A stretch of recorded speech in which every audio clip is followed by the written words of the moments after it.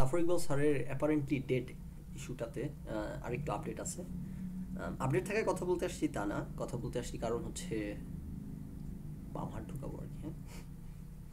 সেটা কি? সেটা হচ্ছে যে আমরা গতকালকে যে আলোচনা করছি যে জাফর ইকবাল স্যার হচ্ছে উনি একটা ক্লাস সেভেনের বইয়ের সম্পাদনা করছেন এবং অথর ছিলেন।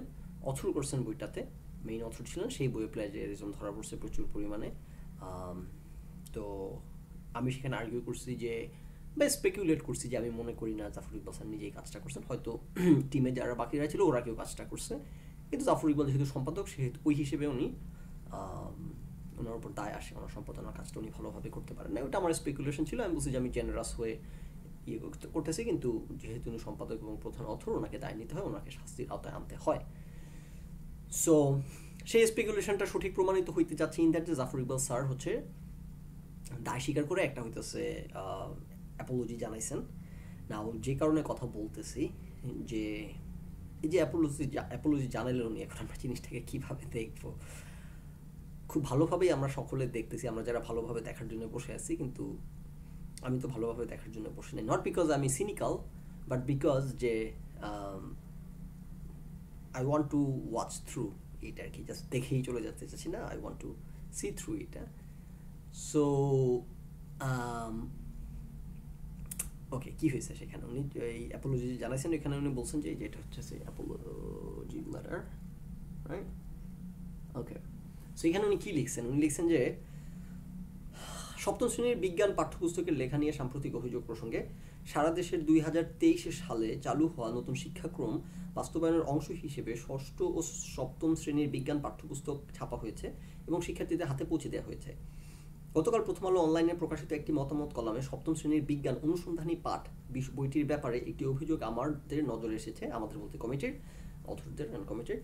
অভিযোগ উল্লেখ করা হয়েছে, এই বইটির কোনো কোনো অধ্যায়ের অংশবিশেষ ন্যাশনাল জিওগ্রাফিক এডুকেশনাল সাইট থেকে হুবহু অনুবাদ করে ব্যবহার করা হয়েছে। বইয়ের এই নির্দিষ্ট অংশটুকু এবং ওয়েবসাইটটির এই লেখাটুকু তুলনা করে অভিযোগটি আমাদের কাছে সত্য বলেই প্রতীয়মান হয়েছে। একটি পাঠ্যপুস্তক রচনার সাথে অনেক লেখক জড়িত। থাকেন, যাদের শ্রম ও নিষ্ঠার ফলাফল হিসেবে বইটি প্রকাশিত হয়। বিশেষত জাতীয় পাঠ্যপুস্তক রচনার ক্ষেত্রে এই সকল লেখকের কাছ থেকেই এক ধরনের দায়িত্বশীলতা আশা করা হয়। সেখানে কোনো একজন লেখকের লেখা নিয়ে এ ধরনের টাইপ হয়েছে এ ধরনের একসাথে লেগে আছে। এই ধরনের অভিযোগের সত্যতা পাওয়া গেলে তা আমাদের পুরো টিমের জন্য হতাশা ও মন খারাপের কারণ হয়। এই যে বোঝা যাচ্ছে জাফর ইকবাল স্যারের লেখা। উক্ত অধ্যায়ের আলোচিত অংশটুকু লেখার দায়িত্ব আমরা লেখার দায়িত্বে আমরা দুজন না থাকলেও এখানে দুজন হতেছে জাফর ইকবাল এবং হাসিনা খান এই দুজন সাইন করছেন। সম্পাদক হিসেবে এর দায় আমাদের উপর বর্তায়, সেটা আমরা স্বীকার করে নিচ্ছি। অবশ্যই পরবর্তী সংস্করণে বইটি প্রয়োজনীয় পরিমার্জন করা হবে। খুবই একটা ভালো পজিটিভ ব্যাপার কিন্তু যে ওনারা তাই স্বীকার করে অপোলজি জানাচ্ছেন বাংলাদেশে তো একটা ইম্পসিবল ব্যাপার। না না না নেসারালি আসতেছি সেখানে, আমি সেটা হচ্ছে না এখানে ঘটনাটা। এই বছর বইটির পরীক্ষামূলক সংস্করণ চালু হয়েছে, যেটা আমি গতকালকে আলোচনা করছি। তার মানে এটা অফিসিয়াল হলো এখন এটা একটা পরীক্ষামূলক সংস্করণ। তো পরীক্ষামূলক সংস্করণ আপনি তাহলে এই বছর দুই হাজার মানে পরীক্ষামূলক সংস্করণ মানে কি? এটা যে বলতেছেন, এবং সামনের শিক্ষাবর্ষ থেকে এতে যথেষ্ট পরিমার্জন ও সম্পাদনার সুযোগ রয়েছে। তার মানে কি দাঁড়াইলো আপনার? আপনার এই বছরের জন্য আপনি পরীক্ষামূলক ভার্সন ছাড়ছেন চাইলে আপনি দেখতে চান মার্কেটের মধ্যে। এটার মধ্যে যদি ভুল টুল আস থাকে, যেমন ধরলাম পরীক্ষামূলক, উনি এটা বলে পিছলে আনার চেষ্টা করতেছেন বা পাশ কাটানোর চেষ্টা করতেছেন, যে এটা পরীক্ষামূলক ভার্সন সো ঠিক আছে, ওকে ফাইন এগুলো আমরা সামনের বার চেঞ্জ করব। তো তাহলে দুই হাজার তেইশ সালে ক্লাস সেভেনে যারা পড়ছে তাদের উপর যে পরীক্ষা করা যায় যাচ্ছে কেন? তারা কেন? মানে দুই হাজার তেইশ সালের যে ব্যাচটা তাদের কি ক্ষতি, তারা কি পাপ করছিল? কি অপরাধে আপনারা তাদেরকে নিয়ে পরীক্ষা চালাইতেছেন? আপনারা বলছেন এটা এখন পরীক্ষামূলক ভাষা যেমন নানা রকম ভুল ত্রুটি থাকতেই পারে, আমরা কিন্তু এটা, এই কারণে নাম দিছি পরীক্ষামূলক, দিয়ে এটা জাহাজ করে নিতেছি। কারণ পরীক্ষা চলতেছে। সো সামনের বছর থেকে ঠিক হবে। তো সামনের বছর থেকে ঠিক হলো দুই হাজার তেইশ সালের ব্যাচ কি দোষ করল? সারা বাংলাদেশে এত লক্ষ লক্ষ পোলাপান। তারা কি অপরাধ করল যে তারা আপনাদের পরীক্ষার শিকার হইতেছে? আপনারা তাদের জীবন নিয়ে পরীক্ষা চালাইতেছেন হ্যাঁ? সেখানে ভুল থাকবে, ত্রুটি থাকবে, এগুলো ঠিক করবে পরীক্ষামূলক ভাষণ তো পোলাপানের হাতে যাওয়ার কথা না।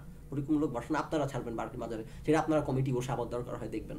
কত টাইপও আছে কিনা, কি আছে না, তারপর সব ঠিকঠাক হলে বাচ্চাদের কাছে ছাড়বেন। আপনারা পরীক্ষামূলক ভাষণ ছেড়ে দিয়েছেন বাচ্চাদের হাতে। তার মানে দুই হাজার তেইশ সালে তোমরা যারা আসো তোমাদেরকে জাফর ইকবাল স্যাররা ভালোবাসেন না, তারা তোমাদেরকে দিয়ে পরীক্ষা চালাইতেছেন, তোমাদেরকে ভুল ত্রুটি পড়ায় পরীক্ষা চালাচ্ছেন তোমাদের উপর দিয়ে। এটা কি ধরনের, আমি গতকালকে এটা বিষয় প্রকাশ করছি, আজকে এটা অফিসিয়াল হলো যে আসলে এটা পরীক্ষামূলক ভাষণ বাচ্চাদের হাতে তুলে দেওয়া হয়েছে। এটা অ্যাবসুলটলি আনএক্সেপ্টেবল একটা জিনিস, কিন্তু খুব লাইট ওয়েট ভাবে বলে চলে যাচ্ছেন যে পরীক্ষামূলক ভাষণ ভুলভাল থাকতে পারে, আগামী বছর ঠিক করব। সো দুই হাজার তেইশ সালের ব্যাচ তোমরা কিন্তু গিনিপিক হ্যাঁ? তোমাদের নিয়ে পরীক্ষা চলতেছে।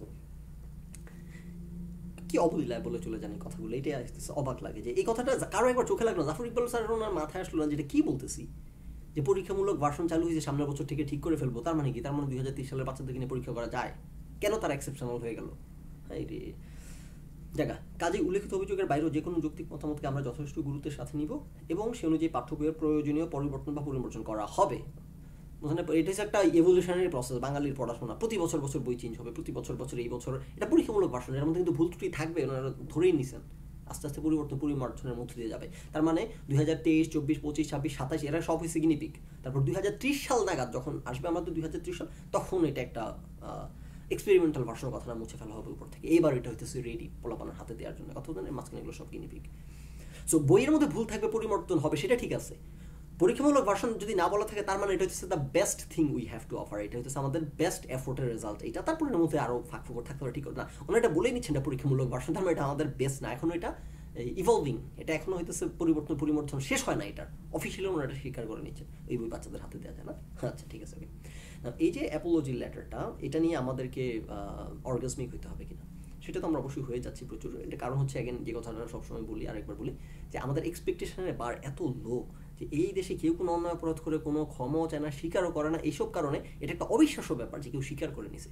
সো আমাদের এক্সপেকটেশনের বার এত লো বিধায় আমরা হইতেছে কি জানি বলে অর্গাজমিক হয়ে যাচ্ছি। যে সাফুল বসার কত মহান উনি স্বীকার করে নিয়েছেন নাম্বার ওয়ান নাম্বার টু হচ্ছে কি বলতে চাচ্ছিলাম আমার একটা? নাম্বার টু তো মাথা থেকে বেরিয়ে গেছে বলতে বলতে। যা হোক। এই মাত্রই একটা সুন্দর পয়েন্ট আসছে, এই মাত্র আবার মাথা থেকে বের হয়ে গেছে খুব দ্রুত গতিতে। তো এখন এই যে উনি যে অ্যাপোলজি অ্যাপোলজি জানাইছেন, এইখানের মধ্যে কিন্তু একটা ব্যাপার আছে, এখানের মধ্যে একটা হিসাব আছে, হিসাবটা বলছেন যে উনি কেন অ্যাপোলজি জানাইলেন? উনি কেন অ্যাপোলজি জানাইছেন? কেন অ্যাপোলজি জানাইছেন? কারণ এই বইটা যদি অথর একা জাফর ইকবাল স্যার হইতেন, অথবা কোনো বাঙালি হইতে, হইতো, কোনো বাংলাদেশি হইতো তাহলে কিন্তু সে জীবনেও এইটা স্বীকার করে নিত না। কারণ তখন পুরো দায়টা তার উপর আসতেছে। স্বীকার করে নেওয়া মানে তার নিজের উপর আসা। এখন স্বীকার করে নেওয়া মানে কিন্তু নিজের উপর আসা না। এখন স্বীকার করে নেওয়া মানে একটা কমিটির উপর আসা এবং সবচেয়ে বড় কথা হইতেছে, এখন স্বীকার করে নেওয়া মানে কিন্তু দায় নেওয়া না, দায় মুক্তি দেওয়া নিজেকে। হিসাবটা বোঝেন। আপনি যদি একা আপনি বইটা লিখছেন, সেটা নিয়ে একটা অভিযোগ করছে আপনি যদি স্বীকার করে নেন, তাহলে কিন্তু আপনি দায় স্বীকার করে নিলেন আপনি নিজের অপরাধ স্বীকার করে নিলেন। জাফর ইকবাল কিন্তু এখানে এই কাজটা করতেছেন আপনি জিনিসটা বোঝেন। জাফর ইকবাল স্যার এখানে যেটা করতেছেন, উনি এখানে বলতেছেন যে এই যে অভিযোগগুলো আসছে, এই অভিযোগগুলো এখানে আমরা পাঁচ ছজন মিলে কাজটা করছি, তোমরা যে অভিযোগটা করতেছো, এটা কিন্তু অভিযোগ আমি দেয় না কাজটা কিন্তু আমি করি নাই। অন্যরা করছে। সো উনি ক্ল্যারিফাই করতেছেন নিজের দায় মুক্তিটাকে, নিজের অবস্থানটাকে।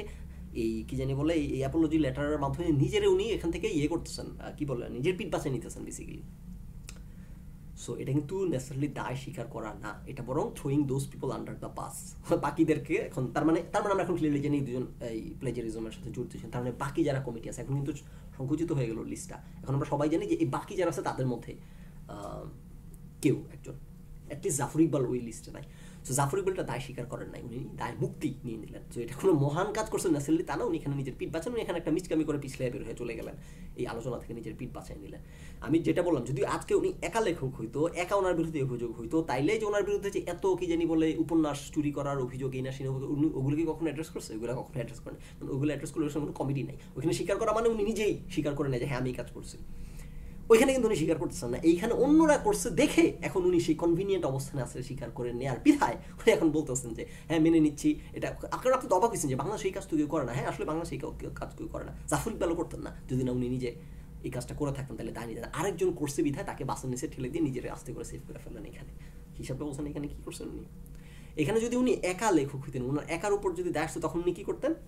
ইদার টিপিক্যাল বাংলাদেশিদের মতো চুপ করে থাকতেন, এইটাই হইতো মোস্টলি মোস্ট লাইকলি এটাই হইতো, অথবা আরেকটা চান্স আছে যেটা, আমি আউট সে স্লিম চান্স কিন্তু রিয়েল চান্স জাফর ইকবাল যেরকম মানুষ রিয়েল চান্স উনি আইসা একটা কলাম লেখে পিছলে টিছলে তোমরা জেনে অবাক হবে যে যারা এইগুলো করতেছে কিন্তু মুক্তিযুদ্ধের বিপক্ষ শক্তি, এই এই লাইক আপনার কাছে অবিশ্বাস্য মনে হইতে পারে যে বলে কি? মানে বাংলাদেশ এরকম স্যাবলামি করে, জাফর ইকবাল লোক এরকম স্যাবলামি করব, উনি তো কই, উনি তো দায় স্বীকার করে নেওয়া মানুষ, উনি তো ভালো মানুষ, না না, উনি তো একজন বললাম, উনি কিন্তু নিজে দায় স্বীকার করতেছেন, আরেকজনের বাসে নিচে ফেলতেছে, নিজেকে পিঠ বাঁচাইতেছে নিজের। সো এখানে মহান কিছু করতেছে না, এখানে মিচখামি করতেছে, ভুল বুঝবেন না। আর যদি নিজের একার বিরুদ্ধে অভিযোগ হইতো, তখন উনি, আমার মনে হয় যে উনি ওই টাইপের মানুষ। উনি চুপ করে থাকার, উনি ওই কলাম লিখতেন একটা। কলাম লিখে এগুলো মুক্তিযুদ্ধের সব, বিপক্ষ শক্তির কাজ, কীভাবে করে স্বাধীনতা বিরোধীরা তারপর হইতেছে যারা পাকিস্তানের সাথে হাত মিলাইছিল, যারা জাতির জনককে ইয়ে করে না, তারা এই এই, সেই বইলা দিলে কি যে একটা ছ্যাবলামি কলাম নামায় ফেলতো তখন, খুব সম্ভবত অথবা নীরব থাকতো রাইট সো উনি কেন এসে এই অ্যাপোলজি লেটার জ্বালাইলেন? সারা বাংলাদেশে এইগুলো কখনো হয় না। উনি কত মহান মানুষ আশা করি এখন বুঝতে পারতেছেন উনি। কিন্তু এখানে অসাধারণ কিছুই করেন নাই। উনি এখানে বরং খুব অত্যন্ত একটা চিকন কাজ করছেন করে নিজের পিঠ বাঁচায় অন্যদেরকে বিপদে ফেলে দিয়েছেন এবং নিজের পিঠটা বাঁচায় ফেলছেন। সো এই জিনিসটা দেখলাম মনে হয় না কেউ খেয়াল করতেছে না, কেউ বুঝতেছে না এই বিষয়টা। খুব একটা দুঃখজনক ব্যাপার। সবাই ভাবছে খুব মহান একটা কাজ জাফর ইকবাল করছেন। উনি করে একটা মিচকা শতানি করে অন্যদেরকে বিপদ ফেললেন, নিজের পিঠ বাঁচায় ফেললেন। এটাকে দেখলাম কেউ বুঝতে পারল না, এই জন্য আর কি একটু ক্লারিফাই করতে আসলাম, বুঝছেন নাই? আমার তো আবার ভালো জিনিস দেখলে আমার ঘুম ভালো হয় না, বাম হাত না ঢুকানো পর্যন্ত, এই জন্য একটু বাম হাত ঢুকাইতে আসলাম আর কি।